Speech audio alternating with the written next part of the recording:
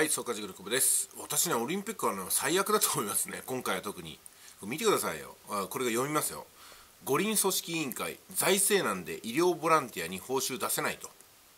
これ2020年の12月28日の、まあ、最新記事なんですけども、がんとしてね、医療ボランティアには金出さないって言ってるわけなんですよ。だからこれね、医療従事者の方ってものすごいね、あのまあ、その地位につくまでにも、それこそ人生をかけて取り組むえー、まあ、一大事業だと思うんですよ。一大事業っていうとね言い方変ですけども、えー、看護師さんになるにしてもねそれから医師になるにしても医療スタッフもうそもそも医療スタッフになるっていうのはとてつもない義務感とね責任感と労力なわけですよ。それこそ人生をかけてその職域にね携わるわけなんですけども金は払わねえっていうわけですよ。で誰が金払わねえって言ってるかっていうとオリンピック組織委員会ですよね。オリンピックを統括する委員会は自分たちの給料は確保したままお前らにはタダで働けって言ってるわけですよ。じゃあねこういうふうなことを言い出す人オリンピック組織委員会の人がもしねなんか病気になったり怪我になったりしても医療従事者の方気持ちよくこれ診察できるんですかね。まあでもそういう問題じゃないかもしれませんけどもとにかくひどい。あの役員報酬ね年間2400万ぐらいもらってるんですよ。で今オリンピック組織委員会って別にやることないですからね。オリンピックだって中止になることが前提ですからね。もうそういうリリースも出てますよ。もうこの前スポンサー契約を1年間の更新しましたけどもその直後にオリンピック難しいかもしれないよねみたいな。他の国が来てくれるかどうか分かんないよねみたいなことを言い出してるんですよ。でまさにあの代表選手を決める予選っていうのが各地域で各国でね行われるはずなんですけどもそれもできてないのとあとは今回のロックダウンに関しましてあのきちんとね競技のためのトレーニングできてないんで棄権する国もあるわけなんですよ。でそうなってくると一体ねどこの国がわざわざ日本に来てオリンピックやるんですかと。で誰がねオリンピックのこの業務を請け負うんですかと。現場の人は出勤できるんですかとかいうね問題がいろいろあるわけですよ。でなんとかね、えー、まあ、日本政府も苦しい中ね GoTo なんとかキャンペーンとかやったりとかね引き延ばしたりとかね。それから保証が出ない自粛を求めたりとかね。オリンピックがやる前提でなんか話してますけどもこれもうねはっきり言って誰も期待してないですよ。それから医療従事者の方の中でももうキャンセルを申し出る人がいたりとか現場の医療スタッフが足りないわけですからね。でそう考えていくとうんまあなんか本当にねひどい話だなと思いますよ。最低ですね今回の東京オリンピックは。最悪、うん、だから選手の方とかも本当にあの日々ね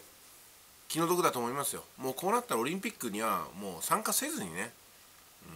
潰せばいいんじゃないですかオリンピックなんて。結局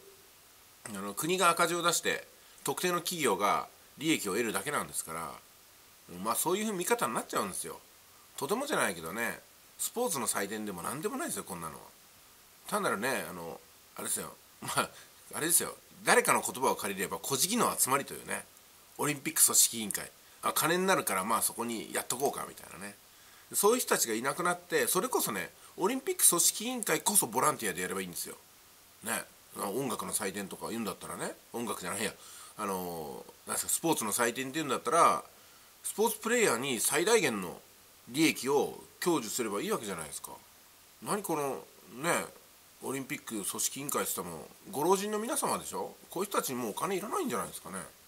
いや本当腹立たしいですよこういうのがあると。私オリンピックにもともと興味ないんでどうでもいいんですけどもどうどうでもいいんだけども腹が立っちゃうみたいなねちょっと込み上げるものが今あってね ゲップになりそうになりましたけど。そのぐらいのオリンピックはね最悪だなと思いましたね。うんオリンピックは最悪だ。これは。もう選手の皆さんのねご苦労がね全然報われないし医療ボランティアの方も全然報われないし。でオリンピックねそもそもこうもうけ怪我らしくって見れないですね私なんて。腹立たしくって。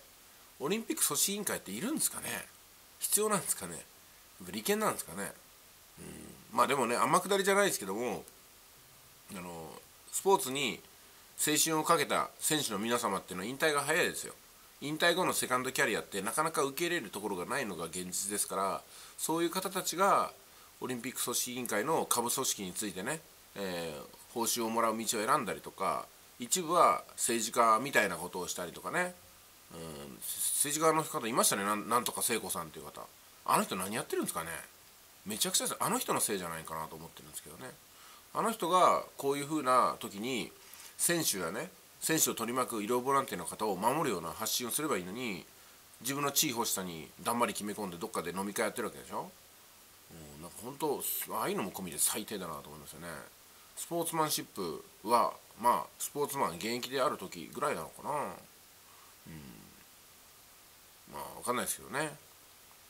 まあこんなねことをやるよりもあの最高ファイトクラブにぜひねあの恩恵を分けてほしいなと思いますね。亀田史郎さんのね。いやオリンピックよりね随分面白いですよ。YouTube の最高オリンピックの方が。もうあれ続けてほしいな。このねショービジネス界に、うん、新しい風を吹かしたなと思いましたね、最高ファイトクラブ。本当感動しました。あんな感動するボクシングの企画なんてないですよ。ガチンコファイトクラブはねあれはあれで面白かったんですけども最高ファイトクラブは本当ガチ中のガチですね。ガチンコファイトクラブはねいまいちねエンターテインメントの色がなんか抜けなかったんですけどもやらせ疑惑とかあってねそれも込みで面白かったんですけどもいやガチンコファイトクラブはガチですな。最高ファイトクラブか。ということで今回はオリンピックはねもう最悪だ。もうもう見るも値しないというテレビぶち壊せみたいな感じが私はするんですけど皆さんどういうふうにお感じになったでしょうか、まあ、あのオリンピックの競技自体とかね選手の皆さんの頑張りとかはすごくいいんですよ。だから結局そこに群がるねじいさんじいさんたちがいらない。しかもそのスポーツのことなんてどう何とも思ってないんですよこの人たちは。自分の報酬のためだけにやってますからね、うん、まあ古事記根性っていうふうに誰か言ってましたけどもうん分からなくもないなそのバリ雑言。私普段からねあのバリ雑言はあまり好きじゃないんですけども、うん、確かになって思うのはありますよ。今回はそれに匹敵するんじゃないかなと思いましたけども皆さんどうお感じでしょうか。くれぐれも申し上げますけども選手の皆様とかコーチの方とかねそれから医療関係の方オリンピックに関わる人全てがダメっていうわけじゃないんですよ。まとめる五輪組織委員会が最悪だと。バッハ会長も最悪だ。で小池都知事は最最悪だと。いうことでございます、えー、以上です。私の個人的な評価ですけどもね、うん。まあ、だからねこういう人たちとは仲良くできないなと、うん、小池都知事ね。荷が重かったですね小池都知事もね。山本太郎さんでよかったんじゃないですか。都民の皆さんも。小池さんの方が良かったんですかね、うん、私はちょっとね他人事ながら他人事じゃないですよね。東京といえば日本の関東の都市ですから無関係ではないんですけどもいや小池さんじゃダメだったんじゃないかなと思いますけども都民の皆さんが選んだんだから何とも言えないですね、うん、私に決定権があるんだったら小池さんはちょっと選ばないですよ、うん、天地転んでもないですねまあ、山本太郎さんの政策にかけたと思いますよね。うん、ということで今回は以上です。